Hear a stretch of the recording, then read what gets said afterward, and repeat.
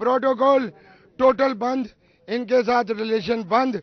ये TV channels के ऊपर बैठ के जो हमारे नेता कहते हैं कि जी चाइना से खतरा है, फलाने से खतरा है। अरे 130 करोड़ आबादी है।